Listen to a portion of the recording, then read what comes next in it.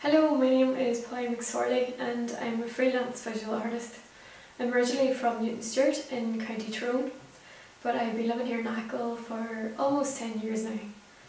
I actually thought it would be a really lovely idea to, to take a dander down to the shore earlier um, to record this contribution of mine for the, the series of Splendid Isolation, just given the really fine weather that we've had um, of late, most especially for this time of year, and um, with consideration of the prevailing travel restrictions which are um, are still in place obviously. Um, I thought it would be a nice opportunity to share a slice of the island in all its beauty and wonder um, with you all and to allow you the opportunity to to step a foot onto the beach at Keel with me which would have been really nice. Um, but my plan didn't really go to plan I spent about 10 minutes uh, yarning into the camera down there, only to realise that the most audible thing on the recording was the sea breeze blowing across the strand.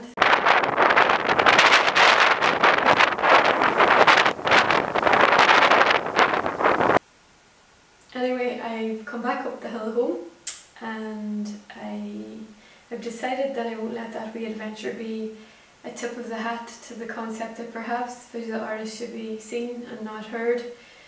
But um, instead I will consider it a really lovely opportunity actually to welcome you all into my home and my studio.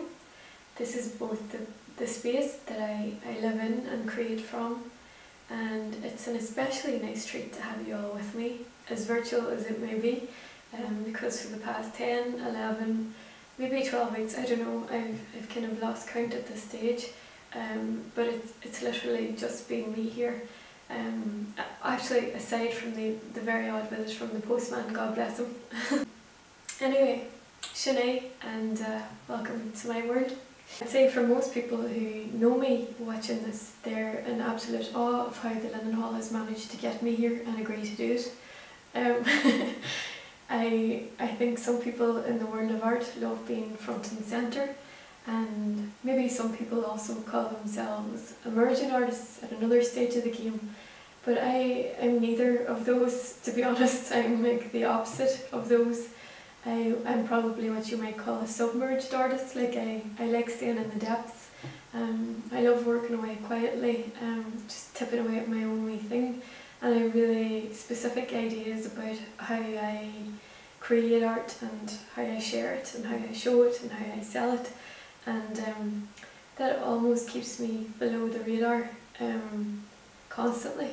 And um, I think that will make sense as my interview goes on. But um, the point that I'm trying to make is that the Linenhall have been serving us so well over this pandemic period. Um, like on a Wednesday I'm dancing, and on a Thursday I'm drumming, and then there's Mayo music and poetry and so much more. Um, and all these things are helping to preserve our spirit and stay connected and to just find some strand of happiness in, um, in the confusion and the uncertainty that we're amidst. But like you can't keep drawing from something and drawing from it and um, and say that you're thankful for that and um, when given an opportunity to contribute towards that then say no. Like that doesn't make any sense. So it doesn't matter how scared I am of cameras or how poor this interview might even end up. The fact that I've agreed to do it is a huge testament to the respect I have um, for the work that is that is ongoing. And um, just once again thank you for all of that. I'm actually not too sure how interesting my story or my journey in art and through art really is um, because when you're living something yourself that's what becomes normal to you um, and you wonder why it might be of interest to anyone else at all um, and I, I suppose the roots of, of my journey in art begins just really simply at home as a child. Um, we're an ordinary working class family, but um, if art could be considered like um, use of, of the imagination or ingenuity or I don't know, creativity and expression, then, then my childhood was all of that because of my parents. Um, and I'm so so grateful for that. Um, and I suppose everything was um, was pulled together by a real sense of playfulness. Um, so art fundamentally to me is um, is a form of play, um, and that's actually a really important point, um, that, and something that I've carried with me in my work and, and through my work, and uh, and also as a person. Um, I think life can be serious enough at times, um, and to have a a sense of playfulness at your core is like um, it's like making a sandwich. You know that's that's your foundation for it, and if you can fit all these other things in between, like um, sense of adventure or um, consciousness or consideration or profundity, maybe a wee bit of seriousness as well, and compassion, and then take another slice of this playfulness and, and put it on top and and make that be what you want people to taste when they see your work then um, yeah home really provided the means for me to do that. Because of the way I, I grew up uh, at home and like mum and dad really encouraged us to question things and to um, explore things and to to be able to form our own, own opinions uh, and thoughts about the world around us, but be able to do that in a respectful manner. And um, that was also a really strong part of my upbringing, which I'm glad for. Um, but I, uh, why I chose art was because you, you could take this one subject, art and design, and you could approach it from any angle that you wanted. So I loved Irish language and I loved sport and I loved geography and everything to do with nature and um, I loved the thought of travel and I loved politics. I was informed by politics growing up in a, a really small segregated town and um, uh, I all these things could be brought together and I could go any direction that I wanted with them and art art could be everything and um, I wanted to delve into that and explore that and have the crack with that. Um, I was advised by a few of my tutors um, to apply for graphic design. So I did so in Belfast and then I applied to the equivalent of that which would have been the Bachelor of Design and Visual Communication at NCAD in Dublin. And I was the only student from the north who was awarded a place on the course at NCAD and this seemed to delight everybody around me but um, to be honest I didn't know a whole lot about what the course was about. And um, I, I actually just loved drawing and um, adventuring my way through things and it was nearly part of the pull towards the course that I, I didn't know exactly what it was about. This kind of intrigue has followed me for my whole life. Like um, it, the mystique and the mystery of it all um, seemed to draw me towards it and I, I didn't even want to know anymore because I, I trusted the people around me who were saying that it really suited me perfectly. And uh, so the combination of mystery and faith were big deals to me and uh, they probably still are. And that's what led me all the way to Dublin.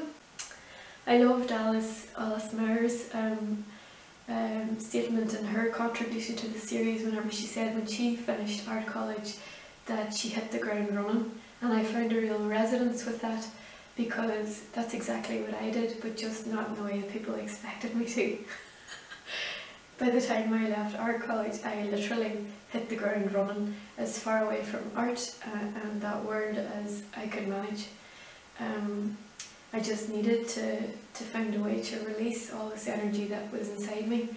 And more than that, art um, became something that I was so conscious of um, at that stage. Like everybody my class knew what direction they wanted to go in with their work. They all knew, um, I don't know, what their preferences in that world were. They were extremely confident in themselves and I was like words away from that. I felt um, even less confident um, because you know what, uh, for the first time in my life I realised um, the power of art. Actually that's the truth. Um, up until then it had, been play, but um, for the first time in my life then I um, I realised that art could be this um, really massive tool um, that could let you connect with people, that could be a form of propaganda, that could be a form of marketing, that was communication, that could inspire people, that could help people, that could um, help you uh, relay your frustrations or your sense of injustice about the world. And um, whenever I considered that, I also considered it a huge responsibility to use it wisely. And um, I didn't feel like I was ready to make those kind of decisions um, because, as I say, I felt I needed to know so much more about the world. And um, and that's why I decided to take a break from from everything, from drawing, from painting, from uh, just any thoughts on, on the world of art. And I it looked like I had just turned my back on it. And um, I really challenged others people's perceptions of me at that time. And it's um, it's one of the most important things I've ever done to be honest. Um, actually finding it a wee bit emotional talking about it it's um it's not easy to to stand firm to what you really believe and to have the courage to to do what you think is right all the time. And that's all that I was trying to do then. I was trying to respect what I loved so much and I was trying to to go back to source and remember what I loved so much about growing up, the values that I held um, through nature, through play, um, through adventure, through storytelling, um, through the faith that my parents shared. Um, all these things combined um, and I decided that I wanted them to be a part of my life so much in alignment with art that I needed the time and space to figure out how I would do that in the best way. I suppose before this um, I was with Achill Outdoor Education Centre and um, that was my role by day and that was very much um, at, at the discretion of the weather to be honest. Um, it could be up a hill or, or on the mountain or I could be in the sea surfing or surf kayaking or I could be paddling down a river um, as conditions might see fit and so whenever I got home from that role I would step into to the realm of, of my process of creation then and I suppose that's the, the pattern that, that my life has followed for the past six or seven years now, to be honest. Um, I, I am one thing by day, and that has been largely associated with um, either learning or work in, in the outdoors and the field of outdoor education. Um, and yeah, I'm, I suppose I am like your, your regular Marvel hero or villain, leading a, a double life of sorts. Um, once I, I leave that realm, I'm, I'm thrown into um, the self-discipline and the self-motivation and um, the self-mastery of anything that I might create. Um, and that's a, a really difficult balance to uphold at times because you're almost putting in, or probably putting in more hours to your art than you are to your daytime role and um, I don't know, I might start painting or creating at 7 just after dinner and a shower in the evening and that could be me right through until 2 or 3 in the morning depending on, on the gusto I feel for the project that I'm working on or the time restraints or deadlines that I'm faced with um, or the enthusiasm that I have around the topic as well. Um, but by and large uh, there's nobody to get me up in the morning, there's nobody hanging over my shoulder um, telling me to sit down at the desk or to stand at the easel when the one thing that your body's telling you that you want to do is to sit by the fire after a day in the water and it's freezing in the winter. And um, or you just want to watch a film or read a nice book and, and go to bed early for the next day again. But um, like we all have limitations and there's only 24 hours in a day. And unless I I physically make myself um, uh, create that space for my work it, like the art that I dream of just doesn't happen um, so that that's quite challenging at times and um, I get on with that in in a quiet way, I suppose. So I, I don't make a big deal of it. It's something that I have chosen to do, and um, yeah, it's just my own personal journey, I suppose. But there are times when you have to pull yourself out from the excitement and the crack of life that you also love being a part of um, in order to make that work. And um, sometimes I find that challenging as well, but at the end of the day, once you have brought to life something that never existed before um, through your art and you can feel a sense of purpose um, within that, then that's a, an incredibly re-energizing feeling and um, and also the relationship that, that is shared between my world in the outdoors and my world in the evenings creating art is really mutually beneficial. One almost drives the other for me and um, yeah, it's there's a great um, sense of symbiosis, I suppose you, you might call it, and um, it's something that works for me. Not everybody would find that um, the, the ideal to create an art, but it's something that really works for me, almost balancing the body and the mind, and um, and not separating them, um, working with them as a whole. In terms of the commissions I'm working on, they could be anything, and um, my, my style varies quite a lot in terms of the work I produce based on what the subject matter is that I, I'm relating to and also the, the mediums that I choose to use. Um, so how I would describe my art is probably empathic.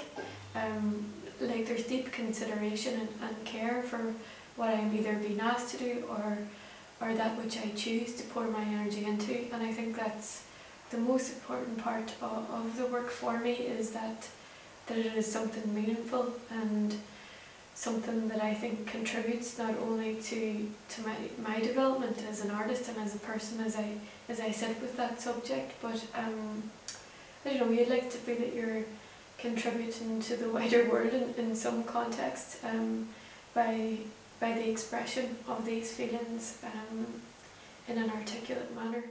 I guess my initial reaction to um, COVID-19 and, and the restrictions it would place on life and how it would affect my art were, were initially feelings of relief. Uh, injury, uh, an injury whilst rock climbing over 14 years ago and I fell a considerable height and did considerable damage to my lower spine at the time and um, like I was in my early 20s and I remember the, the specialist saying to me, you have to slow down in your life um, and there are certain things you should do and shouldn't do and you know, uh, if you don't adhere to that you're going to feel it when you're older. But like when you're 22, 23, this is almost like a challenge to um, so that you can prove people wrong. And so um, I, I operated at 100 mile an hour plus um, since and um, life has been great but um, I'd say in the past three or four years I've, I've really felt um, the repercussions of that. And um, I just just initially before this I, I, I had aggravated um, that injury in my lower back. So I've been in lockdown for almost two weeks longer than the rest of the Republic of Ireland um, unfortunately. But um, yeah, there, there was almost a sense of relief that I could just breathe for a while and that I, I didn't have to rush back into the activities that I love but um, that were um, affecting my health in a way. And um, it's something that I really need to consider long term I suppose. So um, yeah when you have time to think it, it, it brings a lot of things to light that you maybe should have dealt with beforehand. And um, yeah have the space to consider in a wee bit more depth. Um, so after that, I think um, I would be introspective by nature anyway, and, and so I kind of sat back to figure out the space that we found ourselves within. Nobody knew how long restrictions would last or or how um, how heavy they might impede on, on our general sense of life. And so I, I stopped watching the news actually. Um, I avoided the internet at all costs and I, I just tried to to relax into the space that I live in in Achill and appreciate it more than anything. Um, life can be really busy sometimes and we, we don't let ourselves sit into where we are or where we belong and and we miss so much of life by by that practice And so for the first time in so many years, I felt I was gifted just this opportunity to breathe and not have to rush around anymore, balancing life in that way. Um, although I love it, it, it is exhausting.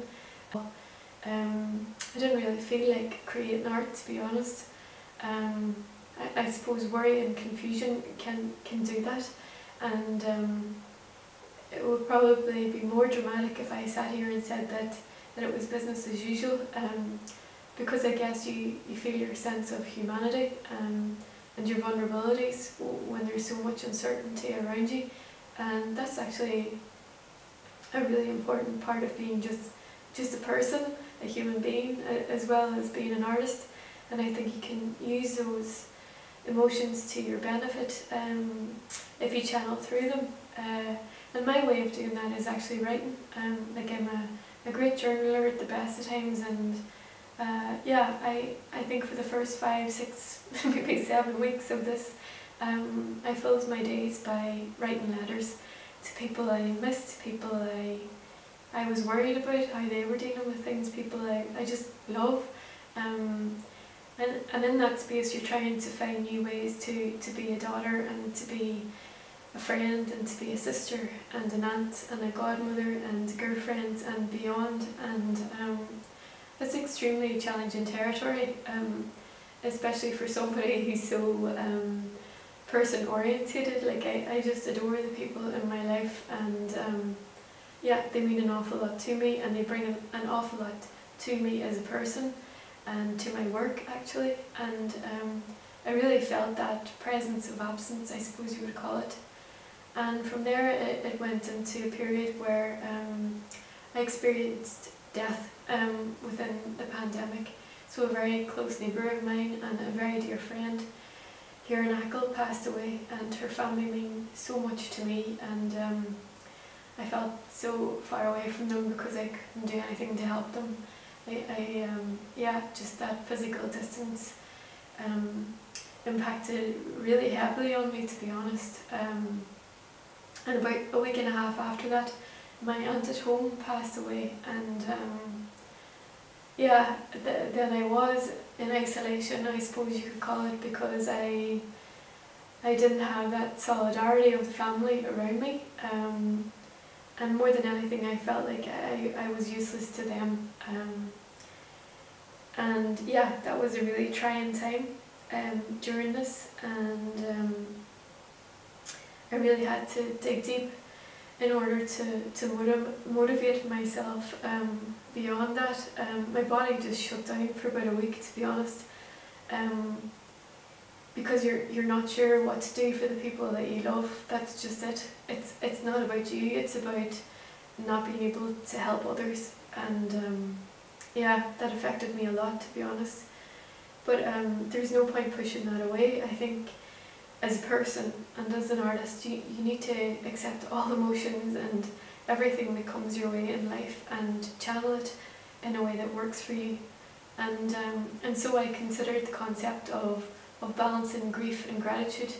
And that kind of pulled me out of out of this um, like this lax um, so I, I thought like how much grief can one person hold in this hand? And how much gratitude can that allow me to give with the other hand? And to let these forces like stretch you as much as they can um, actually seemed to be a gift um, when I thought about it. Like if we only sit with with grief then we end up turning towards cynicism or ultimately despair. Um, and if we only know gratitude in our life, then that's something of a hollow thing, isn't it? Um, it, it doesn't allow you the the depth possible to, to know compassion and, and to understand other people's suffering.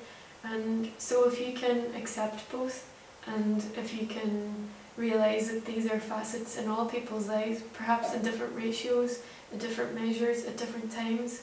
Um, but they exist for us all and if we can just hold them and try to balance them and learn to draw from them when we need to, as and when suits our nature, um, I think that can be um, a really important step in, in not just um, striving as a person, but in, but in creating art that can that can relate to real life and um, that has been an extremely important learning phase um, in how I can create art over this pandemic period. At the start of the new year I decided that I would build a website um, with regards to my art and, and to use that as a, a means of promotion and as a selling tool um, for the new year ahead. Um, I didn't actually get round to that until this started. I thought it would be a good time to, to be productive on those terms and so I put together something very simple that, that I had fun doing just and that um, that I thought was an honest representation of me. Um, I think the, the internet can be dangerous territory um, to delve into, especially with visual art. Um, like it, it's a visual world and um, I, I think um, it, it leads uh, the visual artist down this path of, of um, showcasing uh, a life or um, a personality uh, you know behind the work as a, you know the all this shiny and everything that glitters. And that's not the reality of, of where art really comes from for me anyway. I'm not sure about everybody else. But um like I, I live a really simple ordinary life um that I don't particularly want to, to try and make glitzy or, or glamorous because it's not and that's not who I am nor who I want to be. But um, so it, it's it's difficult to, to navigate um, how to represent yourself really genuinely online um, while still attracting um, clientele and, and you know and competing actually with those shinier lives that, that seem to, to lure people in um, in one way or another and that's almost um, fodder for, for aesthetics uh, in my consideration. Um, so yeah, my website's pretty plain and simple and there's still a lot of work to do on it um, but I'll, I'll get there eventually. I just I'm not a, a lover of um, all things technological so it's going to take a wee bit more time on my terms to do that. Um, but I, I prefer to, to to make that a longer journey and to, to make it one that's completely my own rather than play to the gallery as they say which is the worst thing that we could do as people or as artists really isn't it? Um, in terms of other art projects um, because I, I wasn't in France this year um, there wasn't that pressure so I was able to take on other private commissions so I've still been working on some board work um, so customization of surfboards it's a nice uh, area of work because I love the sea so much myself and I know how important your board can be to you and um, all the joy that it helps to bring in, in terms of what we experience out in the water um, it becomes an extension of yourself in many ways and it, it travels many miles and, and sees so much beauty um, along with you so yeah that's work that I really love doing. And with that I've had um, a lot of other commissions, um, some environmentally based um, one or two people have contacted me with um, propositions of um, illustration work for children's books, which I'm considering at the minute. Um, I'm working with a school up in Derry um, to create some illustrations for their marketing program, which is lovely. And um, also I have uh, a long-term project on the back burner that is that is slowly getting there actually um, and it's a dance related project. Um, it initially stemmed from a body of academic work that I, I put together while studying on the Bachelor of Arts in Outdoor Education at GMIT and um, I became extremely interested in the fusion between pedagogy of place um, and strands within outdoor education that could also um, relate to um, traditional step and percussive and Sean-Nós dance and um, I, I think the marriage of all of those concepts just um, just set me off in a whirlwind of ideas. And uh, yeah I, I ended up uh, interviewing as part of my research uh, a stream of dancers from see Donegal all the way down to Kerry. And um, yeah from those, those interviews I, I began painting a body of work so when you consider a dancer um, being represented in art, most usually it's um, when they're their most dynamic selves, when they're on display, per se. Um, when their buoyancy and vivaciousness is, is captured mid-flow as they perform and I, I was really interested in um, and the other side of that um, like not just the flamboyancy of dance but the roots of it and um, I began almost like this process of excavation so um, how those individuals related to the cultural landscape and their cultural heritage their families, their communities, um, a sense of geography around them, um, uh, their ecological awareness, just like the tradition of dance that they're involved in and uh, its origins, all these things combined just um, it really lent towards a, a grander tapestry of of the beauty of, um, of movement and, and how it's created and the feelings that it imbues and the people that it represents actually um, and the stories that it tells. Um, not just in terms of the narrative of of display but of people who perform that and um, yeah it's been an extremely inspiring journey actually to work on this project also humbling again and uh, just to meet people who are so connected um, to a sense of place and, and person and um, unbelievable actually. I think my deadline for that that I gave myself it was this autumn. So yeah, I, I'm really working towards that and um, finding a better stride with that now at the moment. Um, but just in terms of of how your development of idea progresses as an artist, like especially in these conditions, I think it's it's extremely interesting to to consider the concept of dance in the grander terms and, and marry that with visual um, literacy or visual communication. I mean, in the situation that we all find ourselves amidst, we are literally re-choreographing life. Proprioception and sensory awareness um, begins to translate uh, as matters of, or substances of, of control and safety. Of how a visual artist can, can fit into this um, formula, like our, our go-to uh, um, role is as an observer and our secondary role is as someone who can record and another role of ours is that we can draw attention to something and we can highlight it and so if you combine all of these forces together along with the re-choreograph that's an extremely extremely potent um, mixture or, or potion that, that can be um, used to a greater good in society and I think especially in educational terms.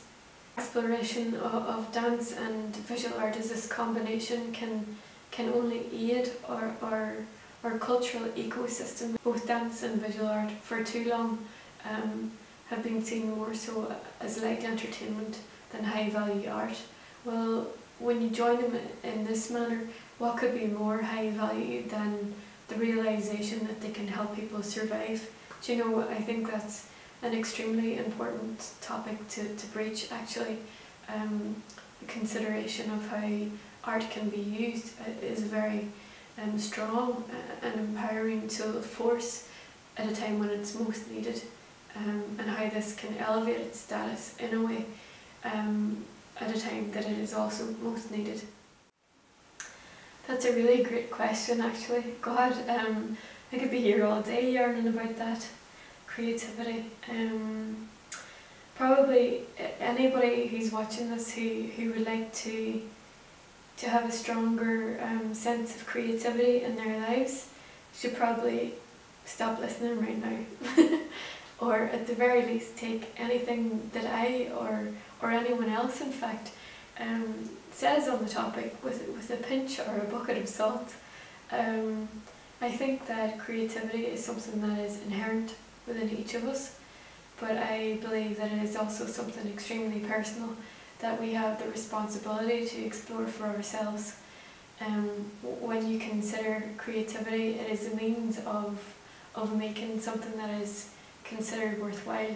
Um, and that really opens the floodgates, doesn't it? Because how do we consider something worthwhile when we're all different and have different uh, ideas about life and um, yeah what we value comes from our perceptions and what our perceptions probably derive from our, our experiences in life.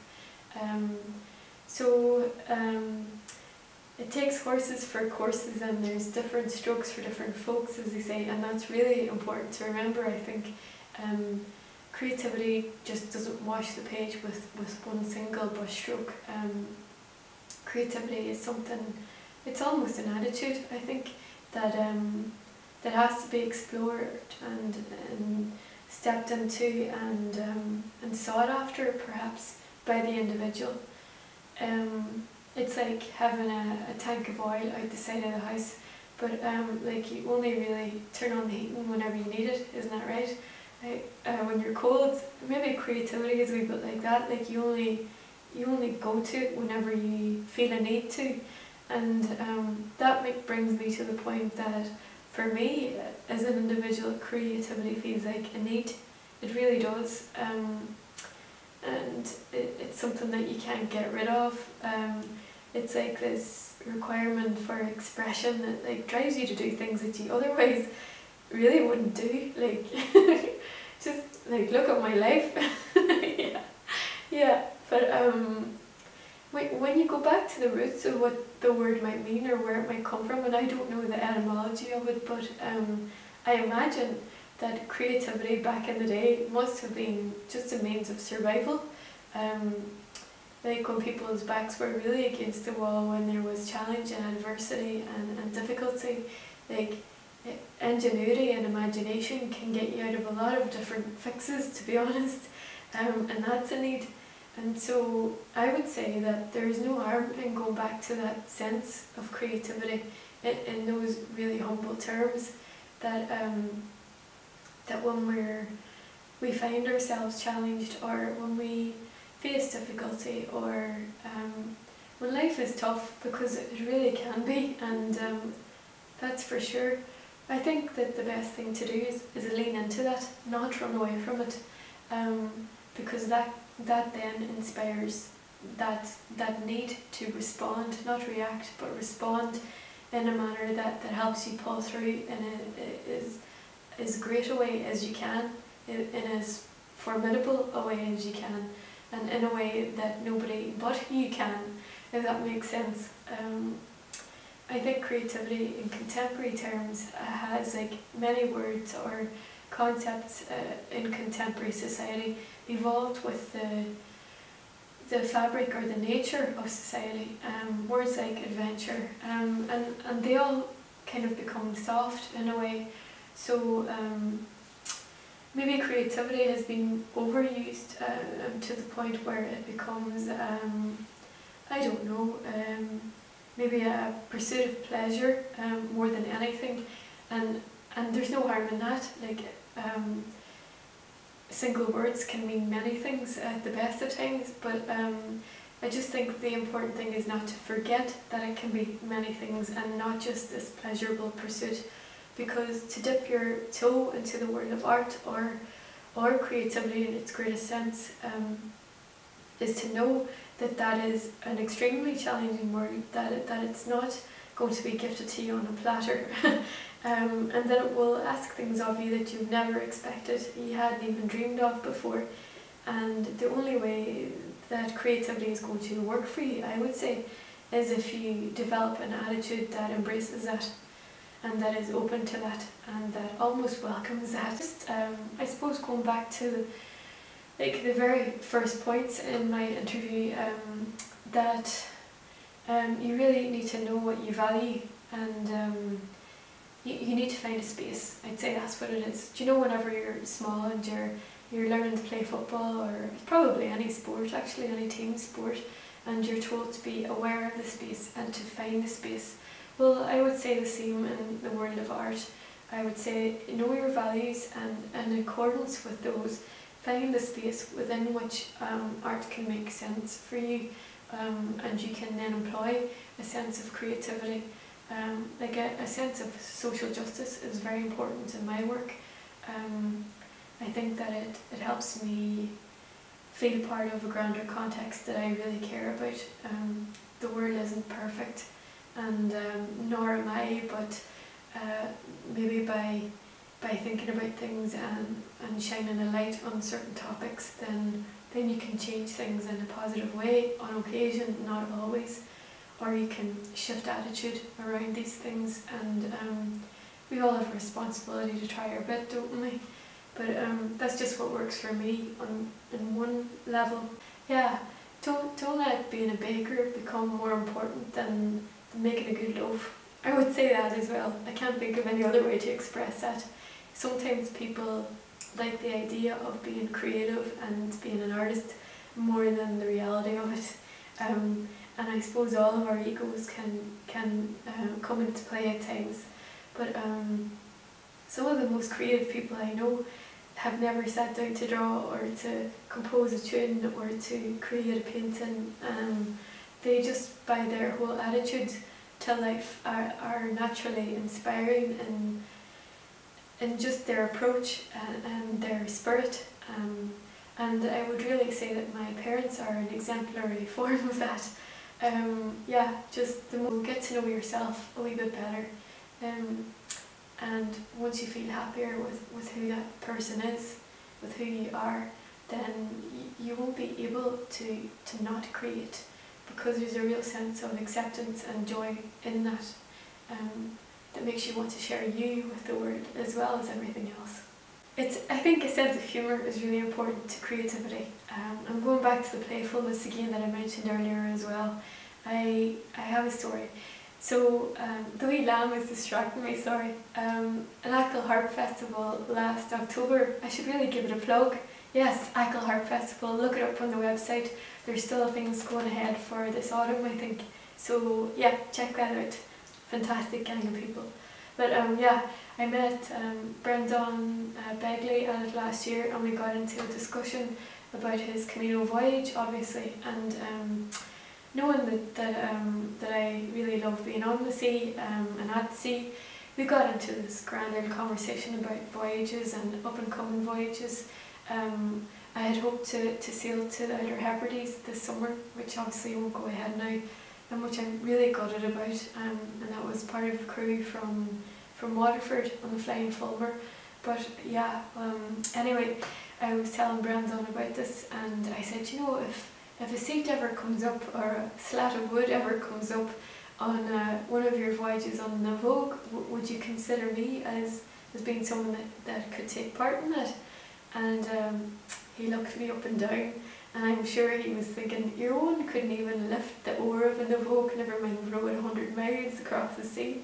But um, after we went, he laughed and he said, um, ah, sure, every crew needs a classy.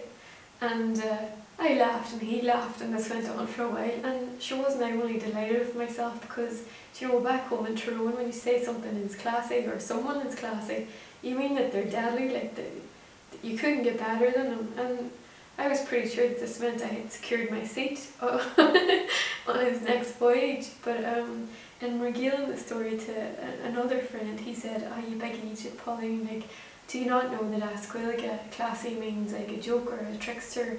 Um, sorry, this wee lab is so distracting. Uh, a trickster, someone who's always joking. Um, and to be honest, at the time I was mortified when I realised this. Um, but in hindsight, Brendan was right um, every crew does need a classy because um, when people are finding things tough, you know, humour can play a massive role and it's a great gift to have in life. Um, and as an artist, when you have to carry yourself through all these different processes and journeys and the ability to finance life and to promote your work and promote yourself when it's the last thing you want to do, and then a pandemic hits and you know it, it just gets harder and harder sometimes then um, you really need that that classiness or that sense of humour and um, I think that, also shows in your work. We can treat very serious topics with humour at times and and that's a way of, of helping others to understand them or to get through them um, or, or to make them better again. But um, yeah, that's how I'm going to finish this off by saying that my most um, wonderful advice to anybody who wants to feel or be more creative in life is to, in the words of the great Ron Burgundy, and with the spirit of the mighty Brendan Begley, just stay classy.